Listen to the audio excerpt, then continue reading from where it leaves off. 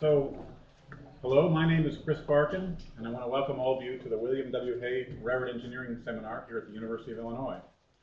Before I introduce our speaker, we have a couple of housekeeping items we'd like to take care of. First of all, you all know the drill. If you take out your cell phones, please turn them off or turn the, them to vibrate so that we don't disturb the speaker.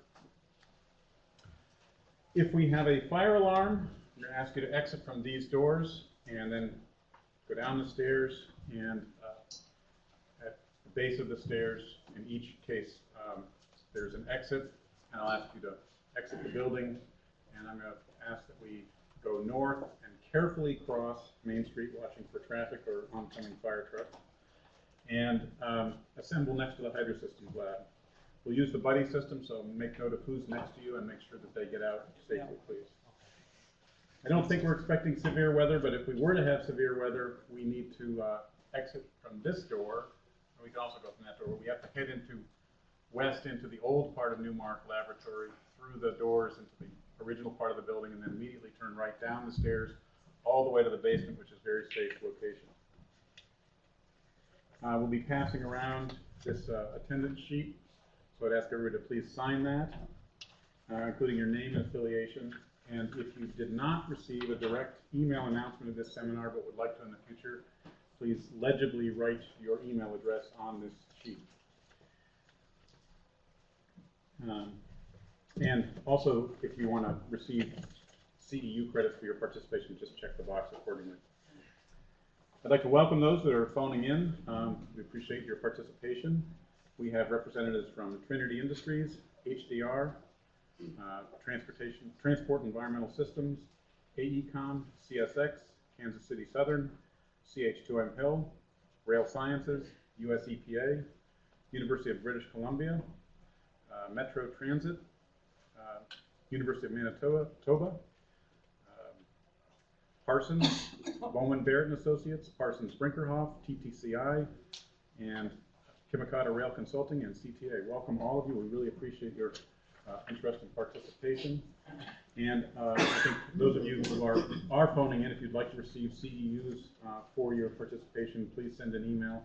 I think it's going to you now. Uh, It's with, uh, if you receive the email um, announcement, I, geez, I'm forgetting if it's Katya or it's Katya. Okay, so send an email to Katya and she'll uh, make sure you get onto the list to receive your CEUs. Um, okay, so Mike.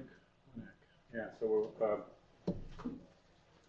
we're gonna have a, uh, I'm sorry, it's a little early. Oh, sorry. That's all right. Hang, hang on. Uh, uh, yes, so, and I'll just ask the speaker if there are any questions from the audience here, if you could repeat them, that'll help, uh, the people calling in hear those questions. So with this, I'd like to introduce our AREMA student, uh, chapter vice president, Mike Winnick, who's gonna announce our happy hour. Hi, I'm Mike Winak. I'm the VP of the AREMA Student Chapter. We are, let's like to let everyone know, we are having a happy hour today at the Blind Pig, Blind Pig Brewery on Neil Street. Uh, speaker, Mr. Kerchof here, will be there, I believe. Uh, so it'll be a great opportunity to have a drink with him, ask some questions, have a good time. Uh, I believe it starts at 5:30. Uh, love to see you there. Thanks, Mike.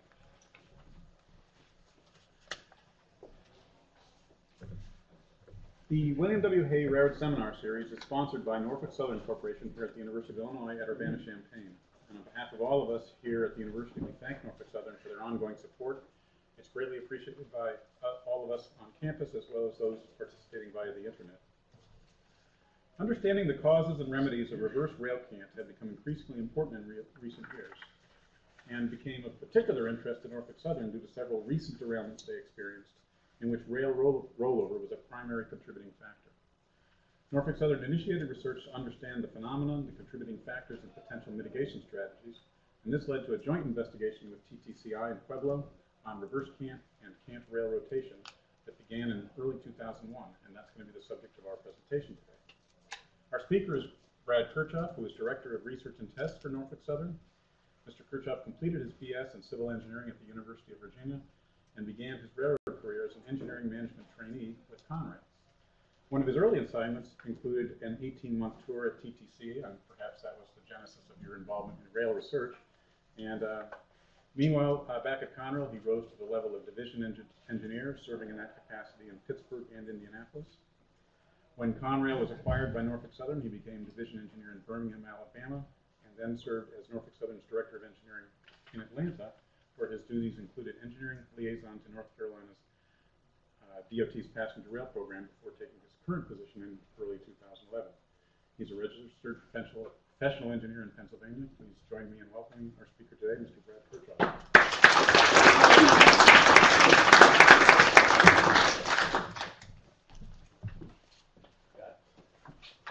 Thank you, Chris.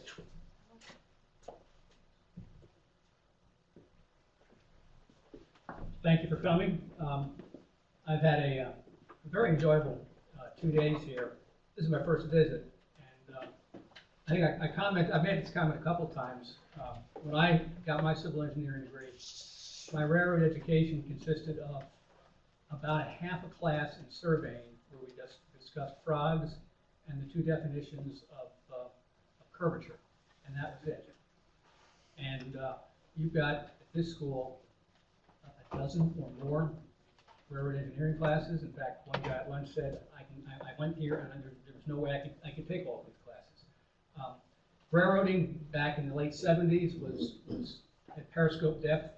I think it's, uh, it's really changed over the last thirty years. And, uh, I'm excited for you if you're interested in, in sticking with this industry. Um, I'd like to acknowledge the uh, help of a co-conspirator, uh, Dr. Huimin Wu from TTCI. Uh, She and I have worked together on this, uh, on this test, and uh, has been just a wonderful, wonderful person to work with.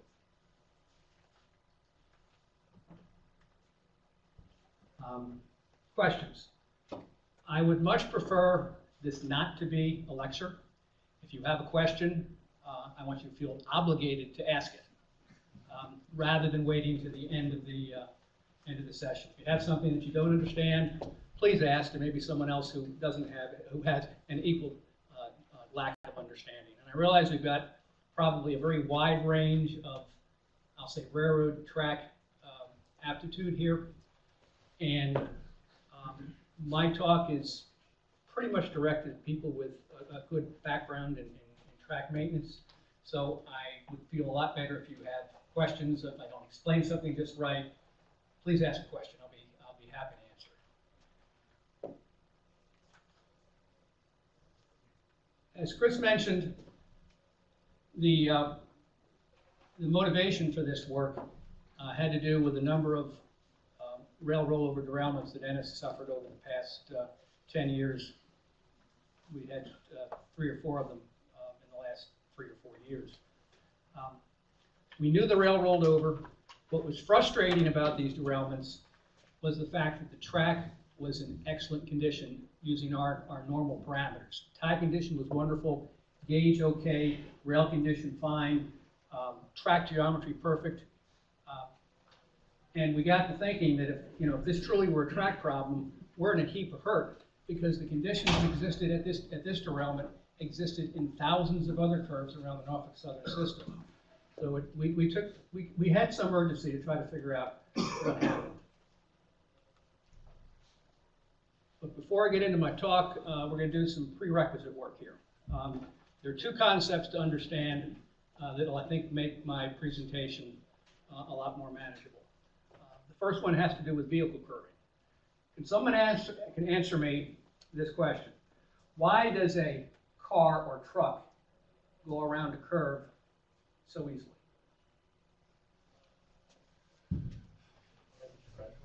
It has a differential. The vehicle can allow the low wheels to turn at a different rate than the high wheels. And if it's the front axle, they're not connected. If it's the back axle, they've got a differential. I'm old, I don't remember. Um, The, the, the issue is the distance traveled by the high rail or the high side further than distance traveled by the, by the low side. Um, A railroad axle is a fixed system. We've got two wheels that are pressed onto an axle, and they turn at the same rate. In order to get a wheel set to negotiate a curve, something else has to go to work here, and that is uh, what we, what we call um, conical wheels. If you look at a railroad wheel carefully, it has a taper. From the flange end, from the flange end, it's got a larger diameter out toward the outside of the tread, diameter shrinks. New freight wheels have a one in twenty cant, or one in twenty taper. And if you have a rolling contact point on the high rail that's closer to the wheel flange at a place of larger radius, and a contact point on the low rail further out on the tread at a point of smaller rolling radius, that wheel set will actually steer itself around the curve. Conical wheels, rolling radius differential, high wheel rolls further than the low rail, allows the wheel to negotiate a curve. That's a key concept to understand for the rest of my presentation. Second key concept, what is standard gauge? Fifty-six and a half. Fifty-six and a half. Okay, here we go. Here's my outline. I'm going to describe rail cant, uh, what it is and what contributes to it. I'll describe a rail cant test that we, uh, we conducted. I'll describe the test variables, which were the various track maintenance conditions for that test, test results, conclusions, and next steps. Description of rail cant. Um, the vertical axis of the rail in its normal design position is canted slightly into gauge. And the reason for that is because it's sitting on a tie plate that's got a cant. In- In Norfolk Southern's case, and in most, most of North American railroading, it's a one in forty cant. The reason we have a one in forty cant, remember what I said about the wheel? We've got a one in twenty wheel taper. That gives you a more desirable contact location when those two tapers are matched up. When, the- when the rail is, uh, exists in this, I'll say, design position, on NS, we call that zero, zero degrees of cant. And any rotation of the rail from that orientation, um, is what we call, if if it goes to the outside, it's called outward cant. If it rotates to the inside, it's, it's inward cant. I've identified, and most people have identified, two types of rail cant. Static cant, which is the rotation of the rail not under load, and the dynamic cant, which is the additional rotation of the rail caused by wheel loading.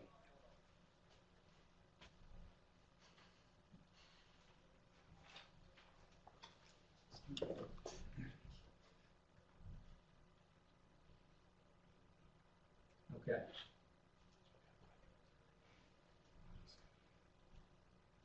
Any idea how I'm gonna get this video to play? Just click on the image. Click on the image? Yeah. Bingo, thank you.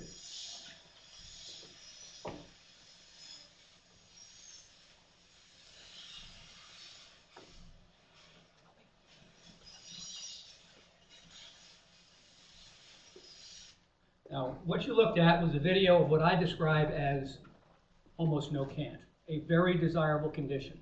Now, if all of our, if all of our rail responded to wheel loading like this, we wouldn't be having this conversation today. The rail is sitting flat on the tie plate, tie plate is sitting almost flat on the tie, uh, and, and we have this situation where rail pretty much maintains its same orientation underneath that, uh, underneath that train. All right, let's talk about static cant and the contributions to static cant. Um, Probably the, uh, the, the best-known contribution to static cant is tie plate cutting.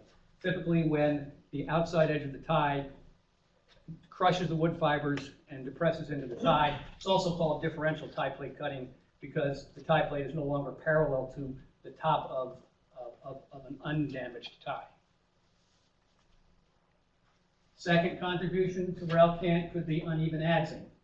Um, An adzer is a piece of maintenance away equipment that trims the tie after the rail and the tie plates have been removed. We use it to put, we use it to restore a, a flush surface for a tie plate, uh, ahead, uh, as, as, as part of a gauging gang job or, a- or a rail gang job. Would you, uh, in this case, it looks like we have a fairly, fairly high-quality installation. But in fact, when the geometry car ran on this curve, it measured one point five degrees of outward cant. And it has everything to do with the fact that when the adzer came by, instead of cutting a surface that was parallel to the original surface on the top of the tie, it took a bigger bite out of the field side than it did out of the gauge side, and the result that the tie plate was canted out. One point five degrees of cant, and, and walking the track, you'd never know it. Yes? What's the reference frame for the Adzer?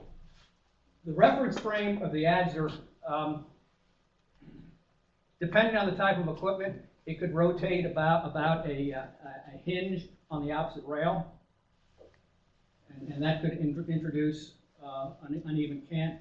Or on the newer machines, it's, it's mounted on top of a track. And I don't know enough about it to know what the, what, how, what, what's involved in the, in in the adjustments. But they do need to be adjusted because they can get out of level. Did I answer your question, Ryan? Would the other rail seat be off or are they independently controlled? So is the other side one point five? All right, que- question is, uh, if we, if we add to one side, what's the impact on the other side? Uh, Nothing, because we haven't taken the rail out on the other side. Um, And that's assuming we're working a single-side rail gang. Um, NS does have a dual gang where we add both sides simultaneously. We'd have to worry about uh, can on the opposite side in that case.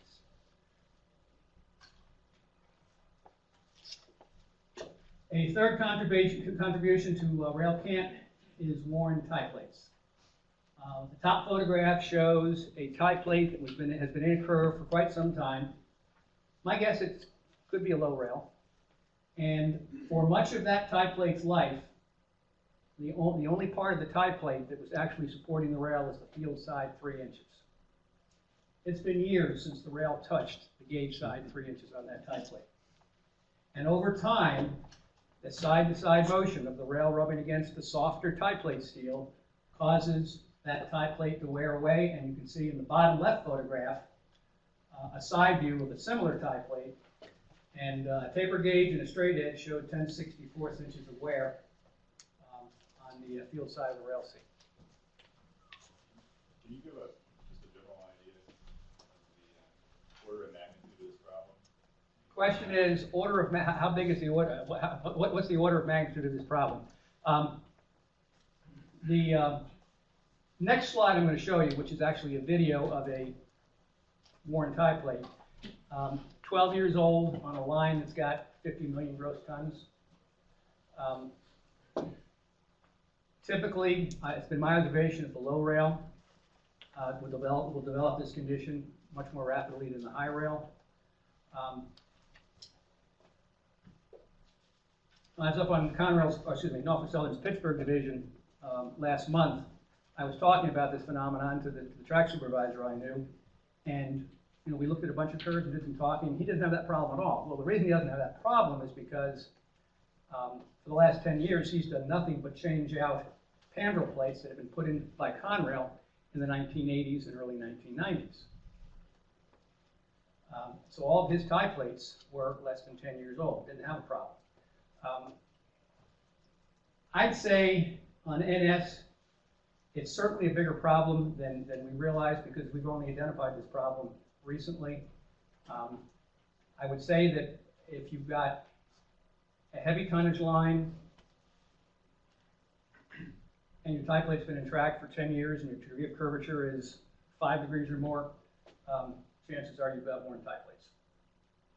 And this is a progressive phenomenon, so, you know, I can take you out to a type, a curve that has, is nine years old, and you may have a sixteenth uh, inch wear. Uh, Take you to, to a curve that's fifteen years uh, in track, uh, and you may have, you may have um, three sixteenths.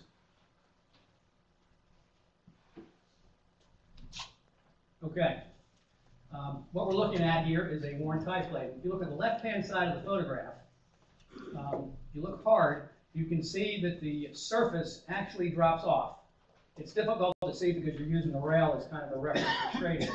But if you use, if you start off on the right-hand side of the tie plate and extend that line to the left-hand side of the photograph, you should see the tie plate surface actually diverges from that straight line.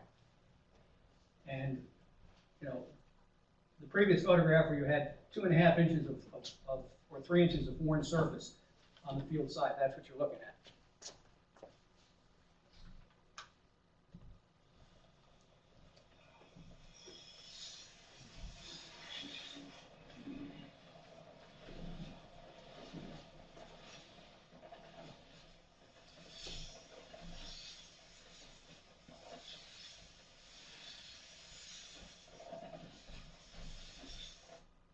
Okay, now, worth noticing is, or worth noting is that, um, this rail base rarely pivoted up on its gauge side, or excuse me, on its field side corner. Most of the time, when the rail was depressed into the tie plate, a wheel was on top, the rail was supported by a flush contact between the field side, two or three inches of rail base, and the field side, two or three inches of tie plate. Okay? And even though we have an eighth of an inch of tie plate wear, our geometry car still measured two, better than two degrees of cant, just because of rail cant, just because of worn tie plate. Another contribution to static cant, um, hot and cold weather. Hot weather, compressive forces, rail tries to roll toward the outside of the curve. Because of the, of the section modulus of a rail, it's easier to rotate about the base, so it tries to lift up and rotate outwards. Um, the degree of, of, of, of rotation is determined by two things. The difference between the neutral temperature of the rail, that is to say its stress-free temperature or the temperature it was laid at, and the actual temperature. If you've got a rail temperature that measures 120 degrees and it was, and, and your stress-free temperature is 60 degrees, you've got a heck of a lot of compression. That rail is really going to want to try to rotate out of the tie plates. The second thing that determines how much rotation you have is how high the spikes are pulled up out of the ties. Temperature will not cause spikes to pull up out of the ties unless your ties are in awful condition. What causes the spikes to, be, to raise up out of the ties is the interaction between wheel and rail. It's the dynamic forces that lifts the spikes. Rail temperature is just taking advantage of the free, mo free movement that's available to it. And just as hot weather uh, causes rails to roll to the outside of a curve, cold weather, hot weather to the high side, cold weather causes rail to try to rotate toward the inside of the curve. And here we've got the same thing as the previous photograph, only different time of year.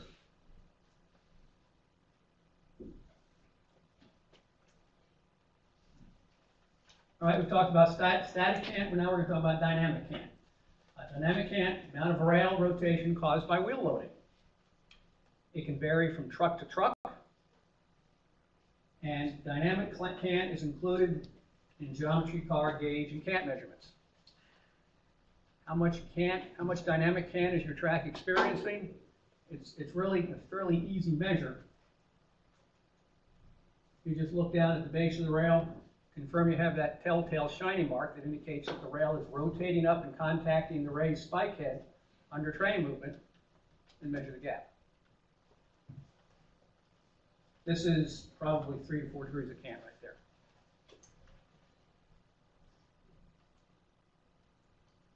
Okay. Um, a couple of years ago, we were start getting, we started, started to get into, in- really interested in rail cant. Um, the first thing we wanted to do was confirm that, the that the rail was in fact rotating outwards as far as our track geometry car said it was. There were a lot of people in the engineering department that said, hey, we're rotating out three degrees, we can't see it, we don't believe it. So we uh, adopted this caveman technology. It's called a fish cage. Uh, And the way it works, uh, the, uh, there's a spring-loaded uh, plunger rests against the uh, field side head of the rail. When the rail is displaced outward, the field side, the, the, the spring-loaded plunger displaces. That plunger is attached to a white washer. It displaces and pushes against the black washer. When the rail restores itself to its static position, the plunger returns, so does the white washer. Measure the gap between the white washer and the black washer, and you have static rail. And then you have, and you have your dynamic rail cant. Um, problem with this measurement technology is it doesn't take into account static cant, and the only thing we see is the worst cant for a train. We don't see what each car is doing to it. So we decided we needed to up our uh, technology game. We set up a rail cant test site, an official rail cant test site, on our Roanoke Bluefield main line. It's a coal route. On a 7.8 degree curve, timetable speed 25 miles an hour, super elevation 4 inches. Uh, we had 8 by 18 inch tie plates with cut spikes. Loaded gauge was 57 and 3 eighths. And most importantly, we already have a curve that had three degrees of rail cant on both high and low rails. So we had something that was very close to requiring maintenance right at the start of our test. We put strain gauges uh, on the high rail and low rail to measure lateral and vertical forces, and we installed string pots to measure displacement. After about a month, we, uh, we did away with the string pots um, for much the same reason we did away with the uh, fish gauge earlier. Um, It didn't measure static cant, um, was the big, was the big reason.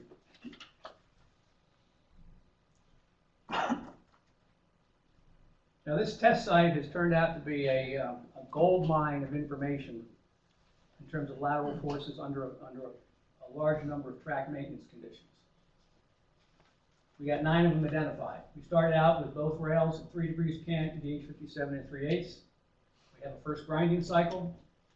Um, Number three, we installed elastic fasteners on the high rail and gauge the track at fifty-six and three eighths. What standard gauge? Fifty-six and a half. Elastic fasteners installed on the low rail. Gauge was, we opened the gauge up a little bit. We turned our top of rail friction modifier on. We brought our grinding, grinder back for cycle number two. We turned the top of rail off. We came back for grinding cycle number three, and then we turned our top of rail back on. Now, don't be intimidated by this graph. Um, this is, this is our results, and uh, I'm going to show you how this graph is laid out right now, and I'm going to come back later in the presentation and we'll spend some more time on it. The way it's laid out, horizontal axis is train number. Uh, we measured lateral and vertical forces under 560 loaded coal trains at this test site. So you see a dot for each train. Vertical axis is lateral force, and the scale is from 0 to 25 kips.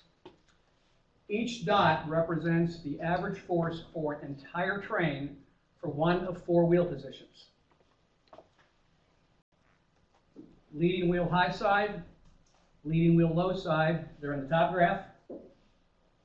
Trailing wheel high side, trailing wheel low side, they're in the bottom graph. The low rail forces are blue, and the high rail forces are pink. The green arrows and the blue arrows represent changes in track maintenance condition.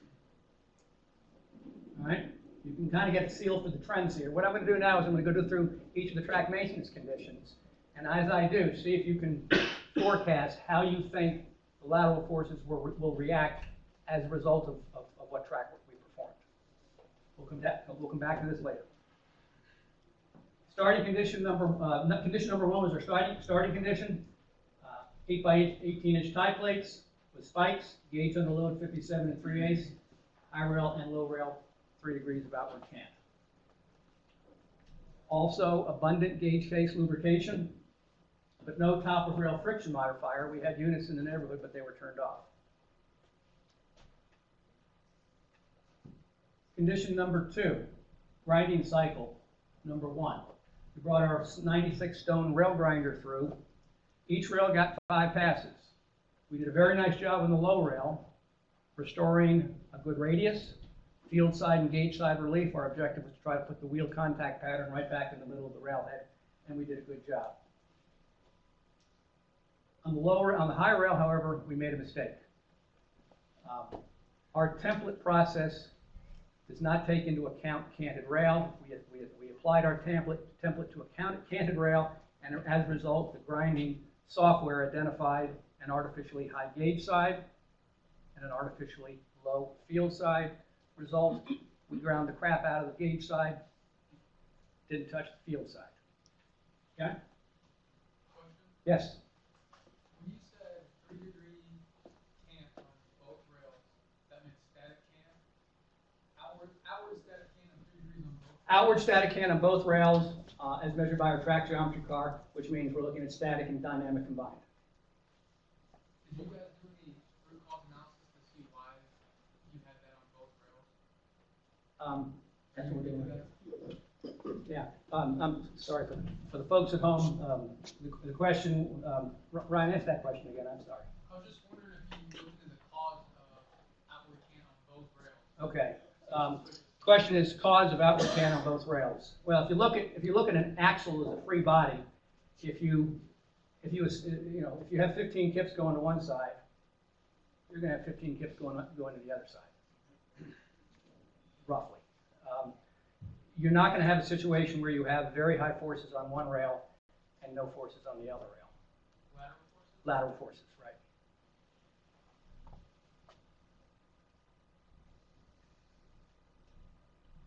Okay. Um, Here is a uh, cross-section, not, not from, uh, not from the high rail wheels, but from a rail from a different location. And you can see, uh, we've got the uh, new rail profile uh, superimposed uh, on a worn high rail profile. And the red arrow indicates the gauge corner. And you can see that due to substantial rail grinding, we have really lowered the rail height on that gauge corner. And where is the high spot? On the field side. Excessive gauge side grinding plus insufficient field side grind, grind- grinding, and we're likely to end up with a wheel contact band toward the field side of the rail.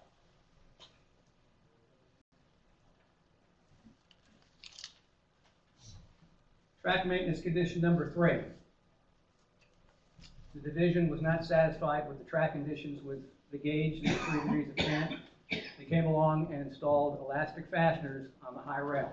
Uh, This is a Norfolk Southern design plate, an eight by eighteen inch tie plate with two Pandrol shoulders on either side, and then we use a Pandrol lead club to, uh, to, uh, restrain the rail.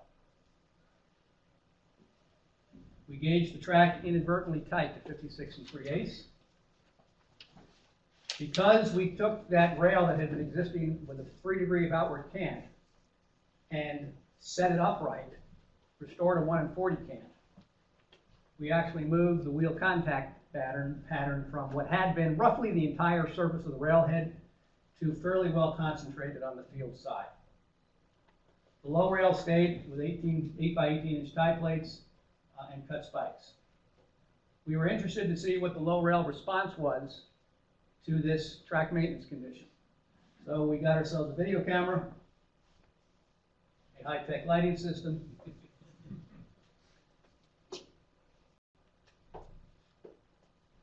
And we rolled tape. Now, as you're watching this, I want you to do, in addition to watching, I also want you to listen, okay?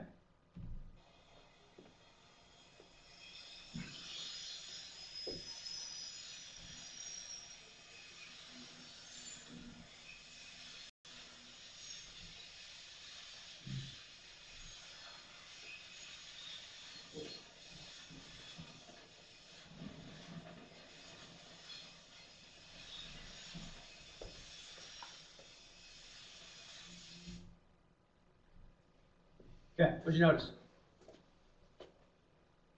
I mean, besides the railroad was tipping over.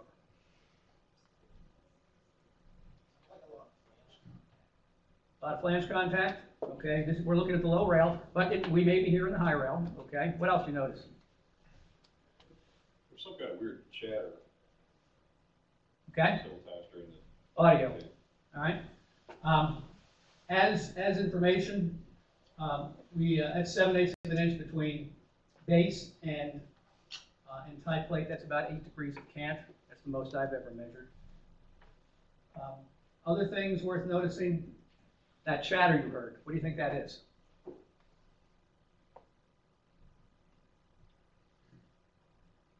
Wild guess.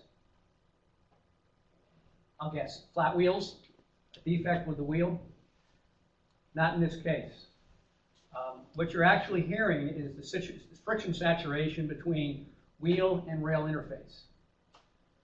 We develop enough friction force with the wheel, rail canted out, and all of a sudden, the rail slips inward and tries to restore itself to its, to its static position.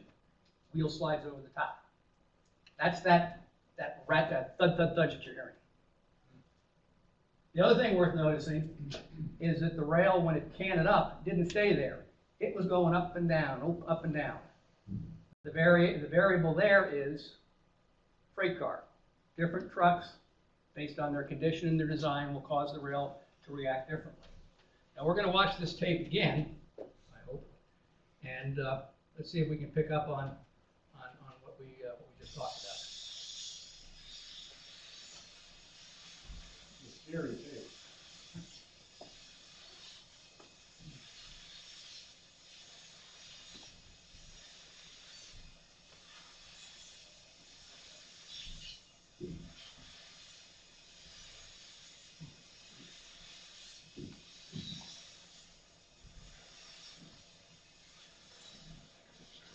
You hear it?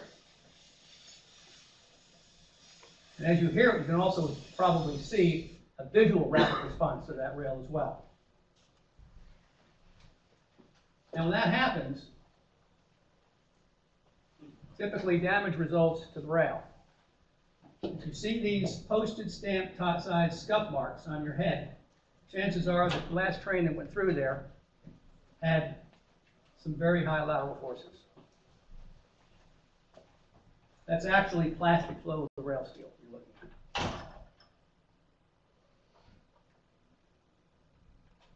Brad? Yes, Something else I noticed during that, and I think maybe this is what you were referring to, is that, um, it seems like the rail interaction with the plate was varying depending on the particular, I guess, car or truck that was going over it, right? which I'm interpreting as a different point of contact between the wheel and the rail. Is that, It could be, yeah, it could be a different point of contact. Um, and there were some times when the right-hand side came- all the way down, and other times when it would be more on the left side, it seemed to be coming down, so. Um, okay. Um, I, I pretty much viewed this as a, as a hinge uh, about the base of the rail. I mean, if you have a wheel on top, you're always gonna have, you figure you're always, always gonna have the rail being supported by some part of the tie plate. Um, The, uh, in, in this particular instance, um, keep in mind where the high rail contact band is. It's toward the field side. When we talked earlier about rolling, uh, rolling radius differential, desirable rolling, desirable wheel, wheel contact on, on the high rail is actually in toward the flange on the gauge half of the head. We've got, we've got contact on the high rail on the field half of the head. Question, Yes, so where is the wheel slipping? Is it slipping on the high rail or the low rail? Um, so that was, um, um, low rail. And it's slipping from gauge side? It's slipping, Side to gauge side? it's, it, it, it's, I, I've seen it in, in, uh, in two different situations. If we have elastic fasteners and the rail is held down tightly, I've seen the wheel slide with respect to the rail. It's like the wheel tries to climb up on the high side and then slides back down. If you have cut spikes and a very flexible low rail, uh, I've seen that rail try to cant out and then flop back down. So it's, it's, it's movement between, it's relative movement between the wheel and the rail. Um, but in terms of, um, referencing an immovable object off to the side, uh, sometimes it's the wheel set that's moving with respect to the track, sometimes it's the rail moving with respect to the wheel. Good? All right, we move the camera forty feet up the track. From the first video location, we found spikes that were already raised up seven eighths of an inch. We drove two of them down without tie plugging in advance of a train. And then we started our camera.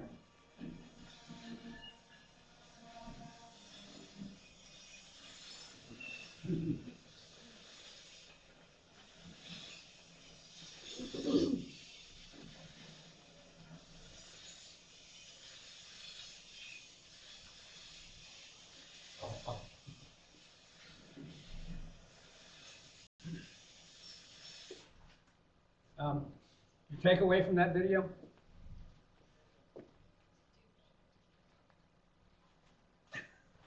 Not much hold down for us. Um, If you simply drive spikes down into a tie without plugging them, you're wasting your time. Second thing, um, spikes are not designed and don't do a very good job providing vertical restraint in, uh, in an environment of very high rollout forces. Can I ask one more, one more question? Yeah. An Internal discussion here, several of us have been discussing exactly what is the average hold down force for a pet spike? Understanding that's not its primary, you know, we've got about five thousand pounds per rail seat, so these elastic passing systems. Um, a new, well, let's see here, I think a new spike driven in a new tie, a new oak tie, the extraction force is, I think around six thousand pounds. Six to seven thousand pounds, I. David, that's all right? Yeah, six, six to eight thousand pounds. You double that for a rail, maybe more than double, quadruple it for a New ties. Okay, these are, these are not new ties, so it's gonna be a little lower.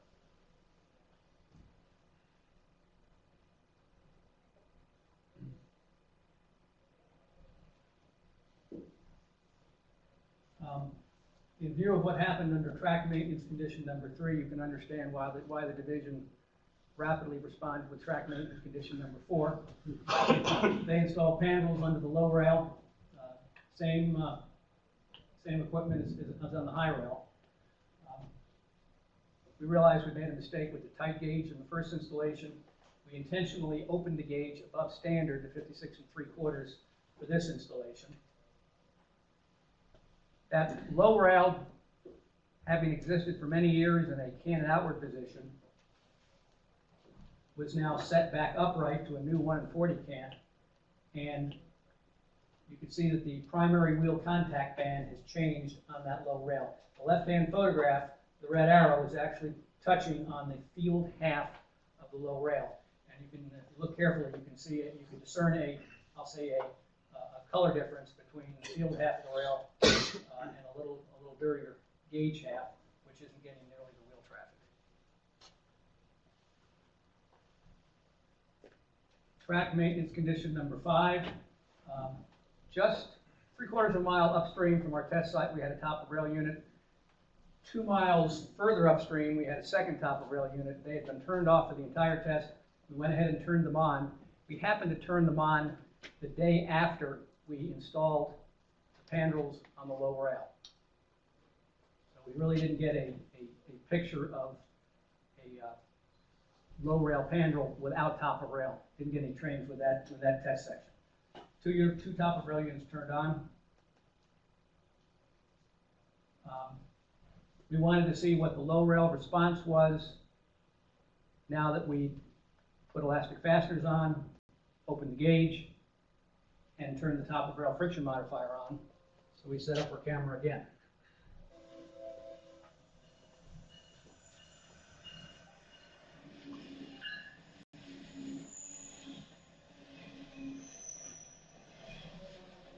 Very boring in comparison. Um, the raised spike that you see right next to the Pandrol clip is not a result of rail canting out. That's just how far down that spike it was driven by the rail gang. Track maintenance conditions six and eight represent grinding cycles two and three. Um, grinding cycle number two, we made five passes on the low rail, again restoring a, a very nice profile with significant field and gauge side relief. We realized our mistake the first time, we did, we ground the high rail, and we came back with two passes that emphasized field side relief. We're trying to get that high wheel, high rail contact band moved from the field side back toward the center of the rail. A few weeks later, we came back with grinding cycle number three, two more passes on the high rail, emphasizing field side relief. And here are the MiniProf profiles of that high rail. And uh, post grind cycle number one is shown in blue. Uh, Our, the, the impact of grinding cycle number two is shown uh, by the difference between the blue line and red line. And the uh, results of grinding cycle number three, the difference between the red line and the brown line. You can see that we've really gone after field side relief, trying to get that wheel off the field side, move back toward the middle of the rail. Track maintenance conditions seven and nine, uh, top of rail turned off, then top of rail turned on. We toggled this on, off and on, because we wanted to try to isolate the impact of grind, of the grinding cycles and not have it influenced by, by, uh, by top rail. Okay, we're back to this guy. Um, to review, Horizontal axis is train number, one through five hundred and sixty. Vertical axis is lateral forces, zero to twenty-five kips. Each dot represents the average force for an entire train for one of four wheel positions. Top graph shows the uh, lead wheel high in pink, lead wheel low in blue. Bottom graph shows trail wheel high in pink, trail wheel low in blue. We start out on the uh, maximum forces were the low rail, far right-hand, left-hand side of the graph. Uh, You see a start, a test date of uh, April 19, 2011. Low rail forces between 15 and 17 kips, high rail forces between 10 and 15 kips. Trailing axle um, dramatically lower, and that's typical of, of curving. Um, Lead axle generally much higher than, than trail axle. Grinding cycle number one. Um, We didn't see an impact to that grinding cycle, but keep in mind, we made a mistake on that high rail and didn't help ourselves. In fact, we hurt ourselves by grinding away the gauge corner and keeping that wheel contact band on the, on the field side. Then we put the Pandrols in on the high rail and tight gauge, and oh my goodness. Uh, Low rail forces jumped over twenty kips. High rail forces, a little bit higher. Not, not nearly as dramatically, uh, changed as the low rail. What do you notice about the trailing truck? Or, I'm sorry, the trailing axle? A dramatic increase there as well. Um, We attribute that, uh, to the tight gauge as much as anything. Um, But it may also have an impact with, it may have been impacted by having different fasteners on high and low rail as well, we're not sure. We came along with the low rail, and installed the Pandrols on June twenty-first, turned the top of rail on, and we had a dramatic drop in forces. Uh, down between five and ten kips, uh, on the lead axle, and probably between four and seven kips on the trailing axle. Conditions remain fairly constant until grinding cycle number two, and there is a perceptible decrease in lateral forces as a result of that grinding. Remember that grinding, not only did we restore the low rail to a good profile, we really went after the gates, the field side relief on that high rail, trying to move that wheel back toward the center. Top of rail turned off, perhaps a slight increase on the, uh, on the, on the lead axle. Grinding cycle number three seems to have had a, you know, more of a positive impact on, on, on trailing wheels than it did on lead wheels. Of rail turned back on, that was the final maintenance, uh, condition, gave us our lowest lateral forces of the test, uh, between five and nine kips on the, uh, leading axle, and generally under five kips on the trailing axle. Any questions on the graph?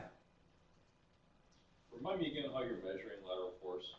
We have, how, how we measuring lateral force, we have strain gauges, um, set up, um, two, a pair of strain gauges, field and gauge side of the web, which measure vertical force.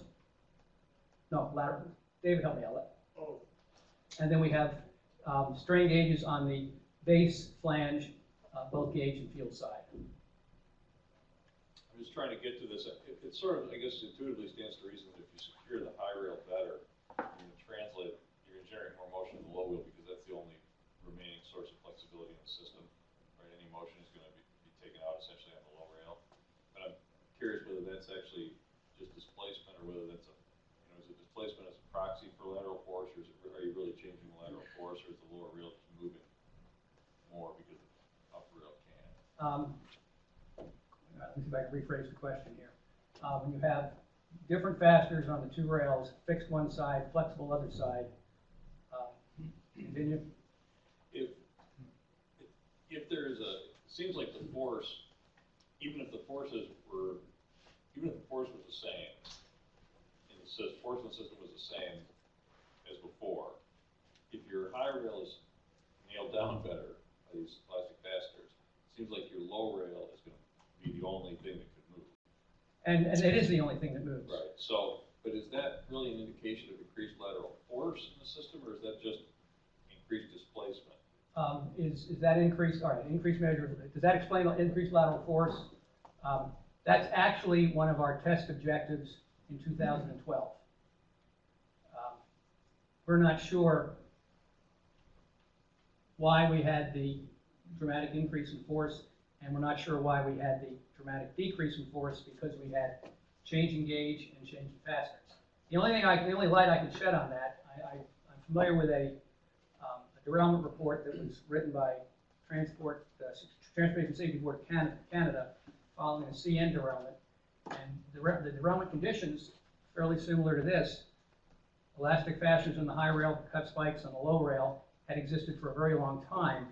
And according to the uh, VAMPIRE simulation they did, that change in fastener system, or the, the, the, the inconsistency in fastener system was a contributing factor in that track geometry, variations in gauge, variations in variations in alignment, excited the truck, resulted in a much higher lateral force than normal applied to the high side. High side was able to withstand that because of the, the premium fastener system. Low, force uh, transferred to the low rail, low rail wasn't able to withstand it. Um, I'm figuring that if we've got a steady state without track inputs from gauge, alignment, surface variation, I wouldn't think we would have greater lateral forces. We should have the same, based on wheel contact pattern. Okay. I apologize, you may have said this earlier on, but are these trains on these curves typically operating in an underbalance and overbalance? Question is, uh, are these trains operating underbalance or overbalance? Um, seven point eight degree curve, four inches of super elevation, twenty-five miles per hour. Um, they are operating at a fairly dramatic underbalance speed. This curve is overbalanced for elevation. Balance speed for seven point eight degrees and four inches is twenty-seven miles per hour. Timetable speed's twenty-five, most trains operated through there anywhere from twenty-one to twenty-four. This would strike, this would speak to Chris's point, because if you're in that condition, it seems, it would to me that what's happening on the high rail is of less, can have less impact. during that,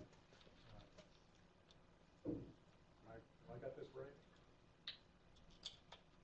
In other words, Yeah, the train's leaning on the lower rail, right, heavily on the lower rail. You've got, you've got much greater weight distribution on the low rail than the high rail. right, so I'm, and the, the more that condition exists, I would think the less the condition of the high rail would affect the low rail's behavior. Um, You're looking at the contribution to lateral forces of centrifugal force and super elevation versus the contribution of steering. We have found that steering is a much bigger factor. Okay. That, that's, actually, I've got slides of that on the, in the, in the supplemental section. if you're interested. Question. Yes, Is there any significance to those five transients there, at the end at- after four twenty-one? The, where are we at here? The transients, Seems like there's spikes there, but at four twenty-one, four. oh, here? Yeah, yeah. Um, Just anomalous. All right, uh, and, and you've got the same thing on the, on the, uh, uh, leading axis as well. Those are average forces for an entire train.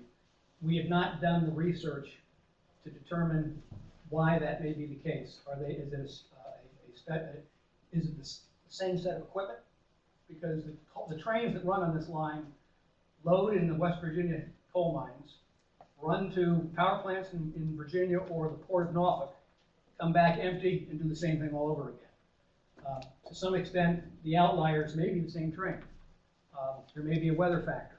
Uh, One of the things that we have not done, that I hope to do, is to uh, better identify which trains are the outliers and what explanation can we offer to the fact that they seem to be so much different than, than, than than the average. One more quick point, I think in in addressing Chris's question a second ago, you may have indicated this, but were you saying that you're gonna try to monitor, I don't really understand what happened with the string cost, but you're gonna try to monitor displacement under future tests? It would be really great to see displacement, plot displacement on the same. All right, question is, uh, uh, are we, do we have any plans to measure displacement? Um, We pretty much decided, decided to use lateral forces as a proxy for everything. Um, The fact that we've got elastic fasteners on both rails has pretty much eliminated our displacement measurements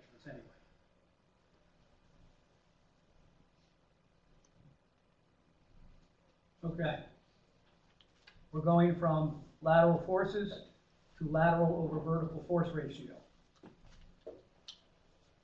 Here we've got L over V for the same 560 trains, truck side. Each data point represents the average truck side L over V for an entire loaded coal train. Blue equals low rail, pink equals the high rail. And understandably, this graph has an identical shape the graph before, which was lateral forces. Reason why? All of the cars that we're running have the same vertical weight. So that is, that is something that's in common through this entire test. These are all 286K loaded coal cars.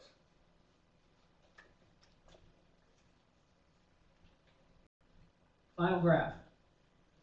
Um, Now we're looking at lateral forces for two entire trains. All right? Lead axle by lead axle. You got a blue train, you got a red train. Each data point is a lead wheel from one of, uh, one of two loaded coal trains. Blue train, blue train shows the worst condition. Remember the video? Pandrols on the high rail, cut spikes on the low rail? Blue train was uh, actually one of those that we videoed. And the red train shows the optimum condition. That was post-grind cycle free and after we turned the top of rail on. And let's, let's look at uh, the bottom graph.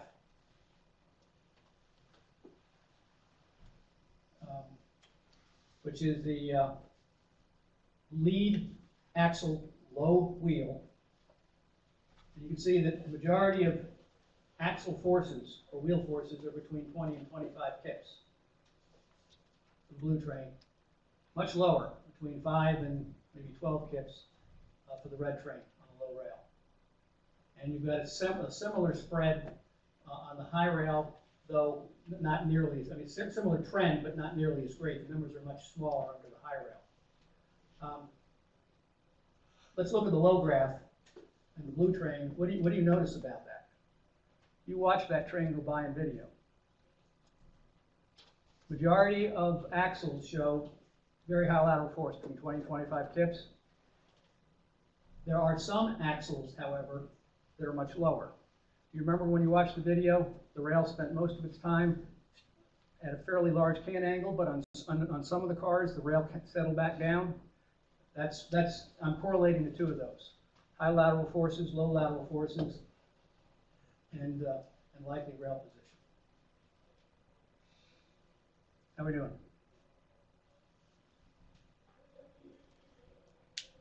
Conclusions. At the risk of stating the obvious, tight gauge and field side contact can generate very high lateral forces. Track maintenance tasks that restore a rail to its normal upright position can have the unintended consequence of causing field side contact. That's one of the big problems that we've had. I mentioned we had a bunch of rail rollover de- derailments. A factor, a feature that was in common to some, but not all, was the, uh, was the fact that that cur- the curve where we derailed in the year, six months prior to derailment, had been maintained either with a gauging gang or with a tie gang, and a rail that had been existing in a canted out position had now been set back upright and our wheel contact pattern changed. Very similar to what we think we almost did with track maintenance condition number three on this test. Number three, managing the wheel rail interface, gauge, rail profiles, fasteners, top of rail, can lower lateral forces. And three more. Number four, cut spikes do not provide sufficient vertical restraint under adverse wheel rail contact. Number five, elastic fasteners appear able to outmuscle high lateral forces caused by adverse wheel rail contact. And finally, and, and this, this is critically important to, to guys who are like track supervisors, division engineers who are responsible for maintaining the track, the progression of cant to rail rollover depends on the strength of your track and whether or not there are any changes to where the wheel con, wheel is contacting the rail. The important point is, it's not an overnight phenomenon. It's a, based on our observations, it's a, it's a gradual phenomenon with the rail working the spikes up a little bit by little bit. And if you're a vigilant track inspector, you should be able to find that, you should be able to see that before you get yourself into trouble with the derailment. All right, our uh, objectives for this year, uh, we want to try to answer this question. What caused the dramatic force reduction at Wills when we went from track condition maintenance three with Pandrols on the high side to condition number four where we had elastic fasteners on both sides?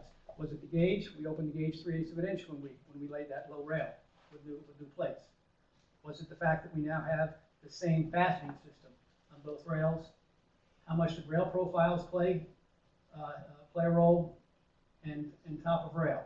What did they, what, what role did that play? Um, I'm gonna go ahead and back up and look at my graph one more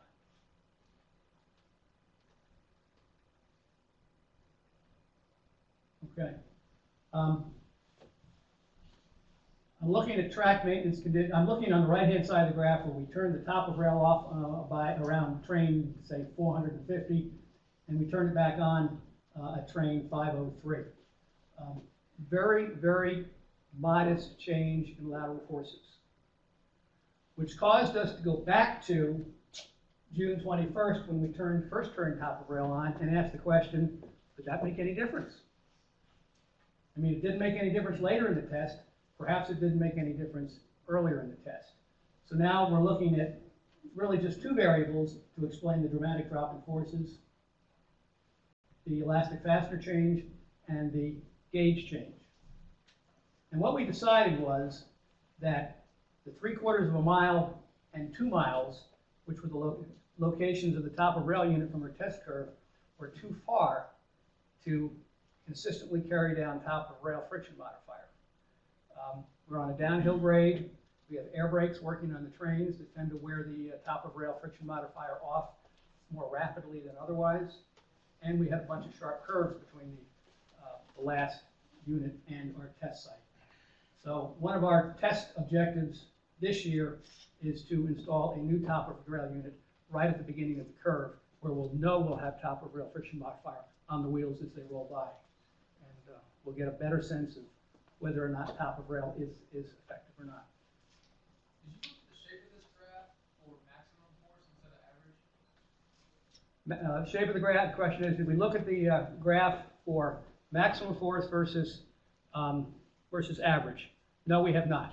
Um, Huimin may have done that, um, but I have not looked at that data. Um, We did for two trains, the graphs that show the test results for lateral forces for the blue train and the red train. Those are the only two trains we looked at in detail.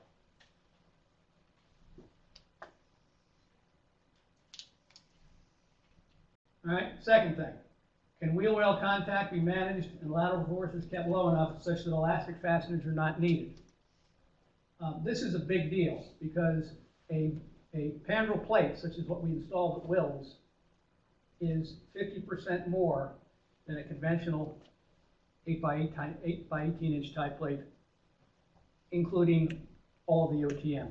The Spikes and anchors with the regular tie plate, the spikes and, and and E-clip for the Pandrol.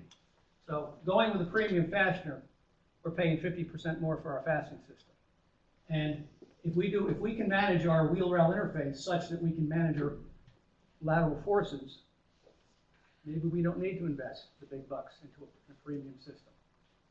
That's what we're looking at this year. We established a second test site east of Roanoke, um, and, uh, we look to maintain eight by eighteen tie plates here for, for the foreseeable future. We've got this instrumented in terms of the strain gauges the same way as we had at the, at the wheel, the site up at Wills.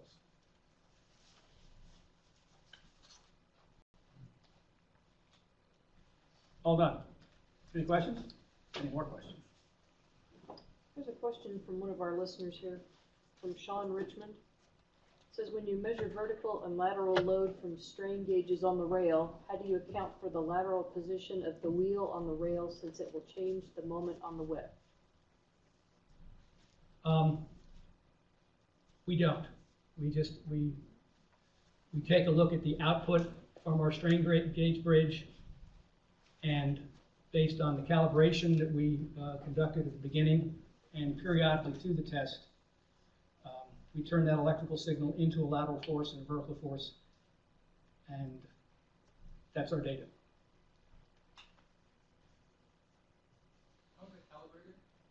We have a, um, a test rig, an aluminum A-frame that has, uh, um, a pair of hydraulic cylinders and an Enerpac hand-operated hydraulic pump. And, uh, we, we preload the, uh, um, the rail, I think, I- I- fifteen or twenty thousand pounds and lateral load um, I think somewhere six to twelve thousand pounds, I don't remember the exact numbers. Um, Knowing what forces we apply, we know what the signal is, that's our calibration.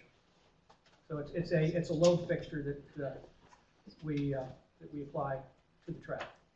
And we've actually calibrated three, uh, three times here, uh, because twice we came along the rail gang and actually removed the rail to change the tie plates and then reinstalled that rail. We calibrated that after that, same thing with the low side.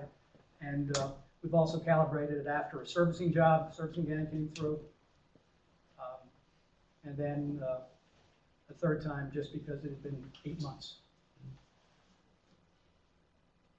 Hey Brad, what degree of cant do you register an incursion exception on for your downstream car? Question is, what degree of cant generates an exception?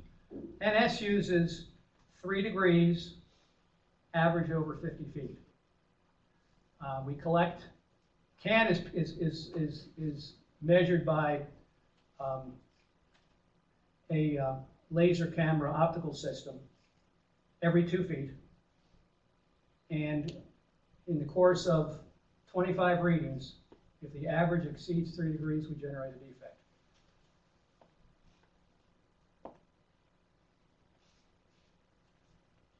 Go back to your master graph one more time. Master graph.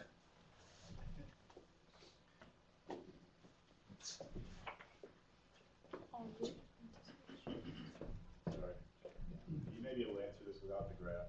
Between the point in time in which you had elastic fastening systems installed on both rails. Yeah. And somebody turned the top rail lubrication on, was that, it, it looks like you may have a few data points to the left of your top rail lubrication. I Um, don't know the resolution of the date, how many trains went by. it.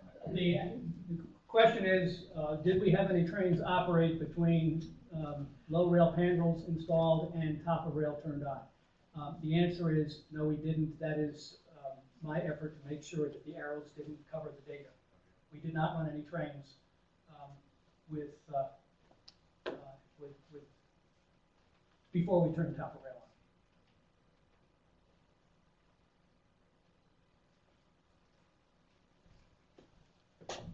All righty, thank you very much. Just one question. Do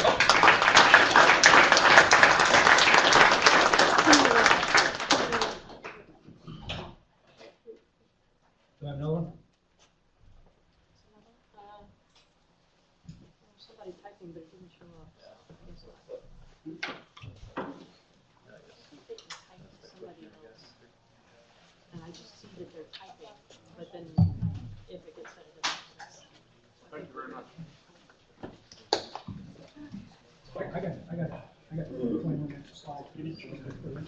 I do not say people should not subject themselves to more of this, I'd be I'd be happy. Sort of have Okay. Yeah,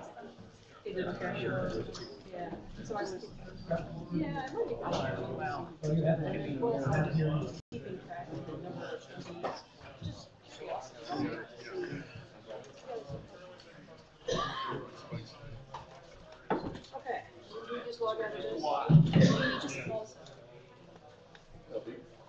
know, Chris- didn't- didn't know your word You, railroad you were program. in I don't know. I didn't see that. uh, you know, I was sitting there, I was like, didn't spoke.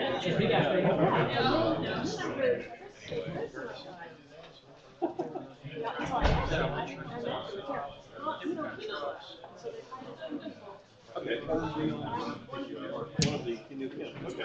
All right. 65% public health.